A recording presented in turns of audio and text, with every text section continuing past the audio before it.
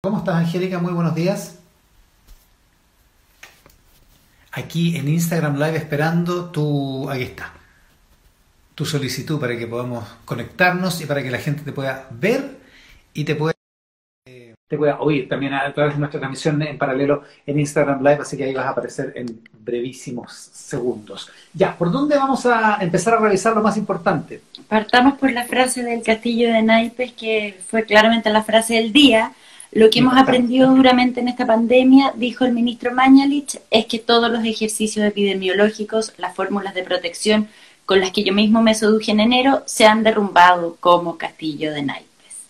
Eso fue lo que dijo. El MinSal reportó ayer 3.964 nuevos contagios, además de 45 muertos en las últimas 24 horas y con esa cifra, siguiendo esa tendencia, lo más probable es que hoy día pasemos la barrera de las 80.000 personas que han dado positivo en el país y las víctimas fatales ya van en 806. Mm. En ese contexto, hay que decirlo con franqueza, navegamos en una suerte de oscuridad en que cada día vale. ¿Cuántos pacientes nuevos hay, fallecidos, hospitalizados, el número de ventiladores? Tenemos que ser obsesivos en enfrentar la realidad como es, agregó el ministro Mañalich y durante el día anunció entonces el fortalecimiento del programa de residencia sanitaria en las regiones metropolitanas de Valparaíso y de O'Higgins y comunicó que por, em, por sugerencia del comité de expertos van a complementar las cuarentenas con medidas más específicas, se van a poner más duros porque lo que dijo es que no han logrado ser lo suficientemente rigurosos para eh, obligar o lograr que las personas que están contagiadas hagan la cuarentena tal como se les ha pedido, que sus contactos cercanos también la hagan, entonces que van a ser más rigurosos en eso, por eso se está fortaleciendo la red de residencias sanitarias. De hecho, hoy día en el Mercurio vienen los resultados de una encuesta que hicieron en el Colegio Médico con la Universidad de Chile y varias organizaciones más sobre comportamientos con respecto al COVID y lo que dice es que un 15% de los contagiados salen una vez a la semana a trabajar y bueno, es bastante probable que esa pura vez a la semana que salen a trabajar signifique y baste para que eh, muchas otras personas se contagien. El ministro, eh, entonces, por otro lado, dijo que se han preparado para con, con, el aumento de camas críticas para tener siempre garantizado un excedente y sostuvo que en caso de que aún suba más la demanda, van a, van a hacer cualquier esfuerzo para eh, lograr darle a los ciudadanos lo que vayan necesitando en la medida eh, que se vaya, que vayan aumentando los casos. Dijo que todavía, pese a lo estresada que está la red, que es algo que han admitido desde el, desde el ministerio, no hemos llegado al debate de la última, de la última cama, dice el ministro. Eh, lo que se le entendió es que pese a que puede que en un centro asistencial efectivamente no haya suficientes ventiladores, o sea, que haya un caso que tenga que esperar por un ventilador, eso no significa que no pueda ser trasladado, o sea, que todavía hay capacidad disponible para trasladar a las personas, incluso cuando en un lugar determinado empiezan a experimentarse ese tipo de problemas. Claro, Dijo, yo quiero reconocer... ah, claro, a nivel global, aunque puede que en un centro asistencial se dé el problema. Yo quiero reconocer con honestidad que compartimos el sufrimiento y la angustia de nuestros profesionales, pero hasta aquí hemos sido capaces de ir aumentando y vamos a aumentar más la capacidad de camas con respirador. Ahora, viene un informe hoy día, en la tercera, un informe de la Escuela de Salud Pública de la Facultad de Medicina de la Universidad de Chile, que la, da noticias bastante poco alentadoras, dice que de continuar la actual dinámica de contagios, el país alcanzará un pic el 8 de junio, cuando los casos diarios van a bordear los 7.000 con un máximo de uso de camas UCI el 23 de junio, es lo que proyectan ellos, y una importante alza de las muertes durante el mes de junio. Dice que, em, entre el, que al 23 de junio habrá entre 3.000 y 3.500 personas en la UCI. Ahora, lo que sí es importante también decir, eh, ahí em, Andrea Canals, que es académica de la Escuela de Salud Pública de la Universidad de Chile, donde hicieron este estudio, dice que estos modelos son sensibles a las intervenciones que se hagan. O sea, en el fondo el modelo predice si la dinámica actual continúa, pero si tomamos medidas de tal modo que esas dinámicas se alteren, bueno, los resultados pueden ser otros. Claro, ya, se entiende. claro, es, más o menos obvio que si yo no estamos condenados a que esto sea Cuarentena en Valparaíso, por ejemplo. Claro. Podría eso eh, eh, hacer un, mínimo, eh, una mínima contención de la propagación de la enfermedad. Pero claro, pero, pero es muy, fue bien dramático, por decirlo de alguna manera, la frase del ministro de Salud en torno a, a, los modelos que él, con los que él trabajó desde enero, digamos. Porque son las convicciones que él tenía a fines de febrero, principios de marzo, cuando empezamos a hablar de esto, y donde eh, básicamente está el origen del diseño que se, que se utilizó, más allá de en qué momento se compraron los ventiladores o en qué momento se tomaron determinadas decisiones como que, se iba a arrendar espacio riesgo o lo que sea, pero había un cierto marco conceptual y ese marco conceptual decía que eh, había una cierta velocidad de propagación del virus, un ciclo epidémico unas, y, unas, y unas capacidades dadas y también aumentadas del sistema de salud en términos de la cantidad de camas de hospital, de hospitalización y la cantidad de eh, camas críticas y de ventiladores mecánicos. Y esos supuestos aparentemente eh, eh, no dieron el ancho o no, no, fueron, no fueron capaces de predecir con, con, certeza lo que ocurrió. Por de pronto, no, no, se, no se puede, no se puede dar por bueno el pronóstico de 12 semanas, porque las 12 semanas se cumplen esta semana y evidentemente esto va a durar al, menos 16, en el, en el sentido de la, del, del, periodo más crítico. Y quizás si algunas semanas más. todavía no sabemos cuándo es el pic. Y eso es lo mismo cuando él, él, él, dice esta frase del castillo Naipe precisamente cuando le están preguntando eso. ¿Cuándo es el pic? Y dice, la verdad es que no sabemos. Eso es lo que está, eso es lo que está diciendo. Es el 8 de junio o esa semana va a ser en 10 días más, digamos. Entonces, hay ahí un, hay ahí un, un problema complejo que yo no, eh, estoy leyendo aquí a R. Álvarez eh, que dice no es problema del gobierno porque no podía predecir la responsabilidad de la gente. Yo, no estoy diciendo que sea problema del gobierno, digamos. Lo que estoy diciendo es que es dramáticamente directo Mañalich cuando dice estos pronósticos que son el marco, el contexto en el que se tomaron y diseñaron las, las, soluciones, entonces no son, eh, no, no, están, no, ya no están vigentes. Entonces la pregunta es ¿cuántos casos, por ejemplo, hoy, cuántos casos simultáneos es capaz de atender la red de salud en términos eh, de hospitalización y en términos de ventiladores mecánicos. ¿Cuántos casos hoy? Bueno, hay que prepararse para junio, no va a ser fácil junio por lo visto y la mejor manera de prepararse es cuidarse. Muchas gracias a todos los que están eh, pues, sintonizados y conectados en Tele13 Radio y también en Instagram Live a esta hora donde con Angélica Bunas revisamos lo más importante de la última jornada. 7 con 15, André, eh, Angélica para agregarte una cosa más, que los profesionales de la salud están, eh, fueron aplaudidos ayer en varios puntos del país, salió la gente a aplaudirlos, a darles ánimo, pero están de duelo porque murió el primer doctor producto de coronavirus, se llama de, se, se trata de René Sánchez, que tenía 67 años, es un gastroenterólogo del Hospital Sotero del Río, quien estaba hospitalizado desde fines de abril. Eh, había estado atendiendo hasta, hasta que hasta antes de enfermarse. Y em, bueno, lamentaron mucho desde eh, el hospital y también el subsecretario de redes asistenciales que está confinado a través de, de Twitter lamentó la partida del doctor y, y, esto lo hizo, bueno, desde Twitter porque, porque Arturo Zúñiga está con aislamiento preventivo porque tuvo contacto estrecho con una persona confirmada de COVID-19. Y es importante porque, porque el... ¿Mm? Alguien preguntaba en Instagram si Jaime Mañalich no es contacto estrecho de Arturo Zúñiga. Bueno, es una buena pregunta. Sí, porque son el reporte todos los días. Pero en la moneda dicen que no, digamos.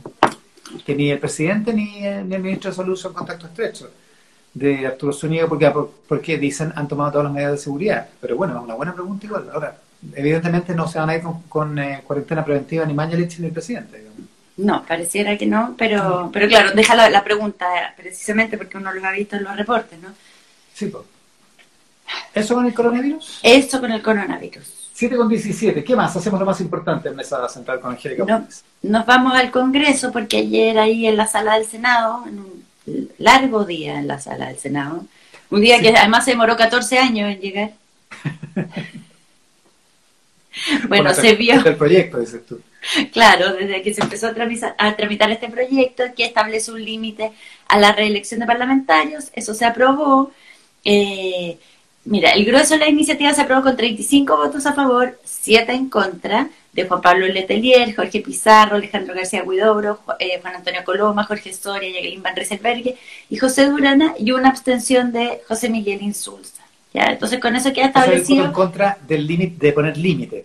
Eh, claro, exactamente. Entonces, porque la, propuesta general que pone límite, eh, tres periodos a los diputados, dos a los senadores y también establece límite a los alcaldes. Y entonces quedan con eso los diputados con dos reelecciones y los senadores pueden estar hasta 16 años con una reelección porque su periodo dura 8. Pero la parte que rechazaron eh, fue que la aplicación sea retroactiva, que era lo que ha generado más, o sea, el, proyecto completo ha generado roces, digamos, pero la parte de hacerlo retroactiva eh, realmente ha sido muy, muy, muy friccionado. Y esta indicación tuvo 22 votos a favor, 7 en contra y 12 abstenciones. No logró el quórum que necesitaba, que eran 26 votos, para lograr que se aprobara ese artículo, pero además la, propia vienen hoy día eh, crónicas en los, en los distintos medios sobre cómo fue este debate, que fue largo, que fue con, con hartas acusaciones de un lado para otro, hartas interpelaciones, incluso dentro de los propios bloques, eh, que ha dejado bastantes heridos. Finalmente, pasada la medianoche y tras rechazar dos disposiciones de la Cámara Baja que establecían eh, como restricciones, el proyecto fue despachado a tercer trámite y los diputados ya anunciaron que van a rechazar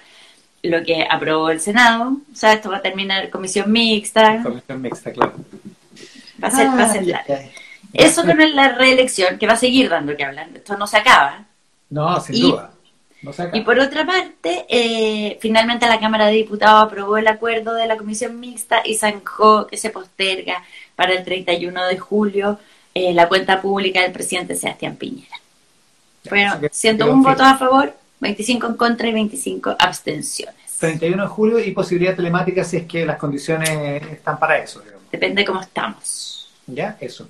Oye, eh, cortito, pero y sale chiquitito los días se aprobó la ley de portabilidad financiera que permite que, por ejemplo, te lleves tus tarjetas de crédito, tu cuenta corriente, todas tus cosas de un banco a otro, si es que con mucha mayor facilidad, si es que eh, está, eh, si que están las condiciones mejores en otro banco, digamos. Y por otra parte, como el teléfono, el número de teléfono. Como el número de teléfono. Y si tienes un crédito hipotecario o un crédito eh, eh, automotriz que tiene prenda, también se hace bastante más fácil el se hace más fácil el asunto así como está eh, planteado. Se hace más fácil irte con, con, mejores condiciones de crédito. Así que está bueno. Es una buena noticia, de todas maneras. Algo bueno que pasó ayer en el Congreso. Así es. Ya, vamos a ver la TAM, que causó gran impacto, porque ah, la, la, noticia de que la TAM se acogía al capítulo 11 de la ley de quiebra en Estados Unidos se supo eh, antes de ayer en la noche. Claro, porque se comunicó como pasada la medianoche del Claro, pasada la medianoche. Entonces, algunos días no alcanzaron a traerlo en su versión en papel.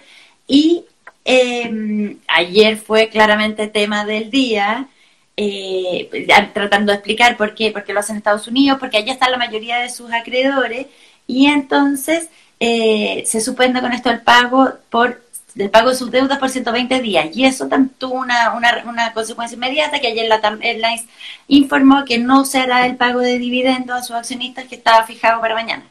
Se suspende también ese pago. Era para mañana, claro. Era para mañana, 28 de mayo. ¿Y eso porque, el, porque el capítulo 11 lo prohíbe? Porque quedan suspendidos todos sus pagos, incluido el de dividendos. Durante el día, las acciones de la compañía, que es el mayor grupo de transporte aéreo de América Latina, se hundieron, cayeron un 36% en la bolsa de Santiago y en lo que va del año, eh, la rentabilidad de la compañía acumula una caída real de 83%. ¿Vale? Cuento hoy día la tercera en menos de mil millones. Ha caído un 83%. No, pero... Eh, solo este mes una baja de 59%. Bueno. el 95% de la operación parada. Parada. Bueno, y en ese contexto, el ministro de Hacienda, Ignacio Briones, dijo que la aerolínea, hay, hay, hay, varios motivos que podrían llevarla a ser considerada una empresa estratégica para Chile, por su valor a nivel logístico, por, porque llega por los desplazamientos que hace dentro de Chile a lugares donde otros no llegan, lo que permite llevar productos, pasajeros, una serie de cosas, porque tiene eh, 10.000 empleos directos, entre otras razones, y por lo tanto el gobierno... Ahí, ¿eh? Con los 10.000 empleos. ¿Con los 10.000 empleos directos? Sí, la compañía habla de 40, de algo más de 40.000 empleos directos en Chile. Bueno. Eso es lo que, eso es lo que me parece haber, haber leído la última vez, pero, pero bueno, pero, pero de todas eh, maneras una gran cantidad. Claro, una, una gran cantidad de gente y entonces explica el ministro que el gobierno va a evaluar eh, la conveniencia y oportunidad para contribuir al, eh, al éxito del proceso de reorganización en que va a entrar esta empresa, que se habla que podría implicar entre una reducción de hasta un 30%, pero también dijo que darle cualquier medida de apoyo es una decisión país, o sea que no es una decisión del gobierno, es una decisión de Estado que, que tenemos que tomar, que debe ser tomada con mucha transparencia de cara a la ciudadanía y que volvió a recalcar algo que ya había dicho el ministro, que cualquier tipo de apoyo que se le dé a esta compañía no es nunca para los dueños, sino que es para mantener los trabajos y mantener la operación de una empresa que, puede ser considerada estratégica. Ahora, sí, da la impresión de que el ministro Briones la mandó el tema del apoyo, un, un eventual rescate de la TAM, eh, directamente al, al marco del acuerdo eh, para la crisis. Exactamente.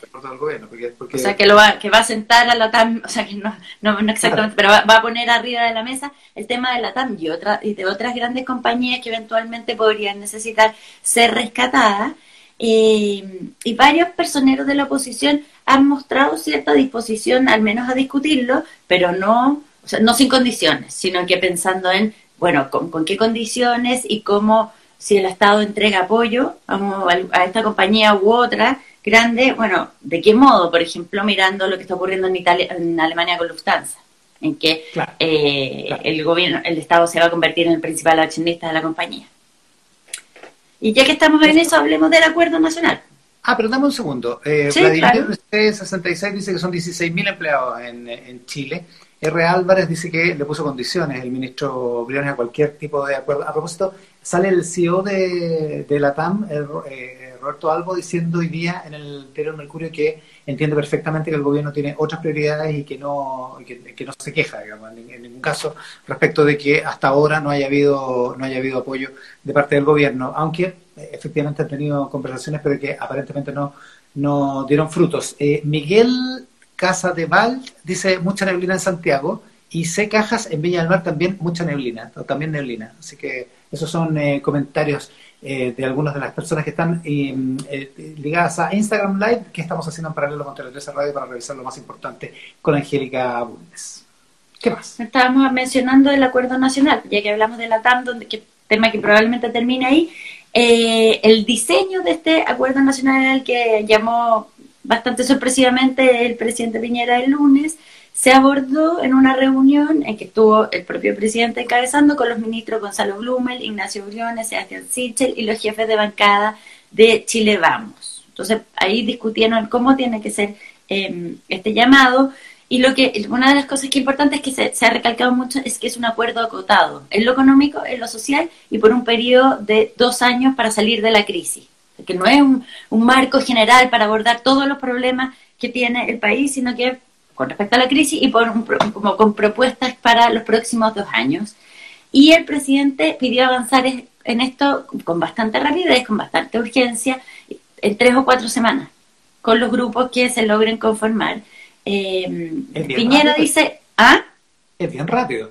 Es muy rápido tres o cuatro semanas. Y además, sobre todo, ¿sabes por qué también es rápido? Porque también, dado que hoy día hay imposibilidad de reunirse físicamente, o sea, que se hace todo más difícil, bueno, también se demoran más los acuerdos, porque, porque una reunión por Zoom es más, es más compleja, más tiesa que una reunión en vivo, en general.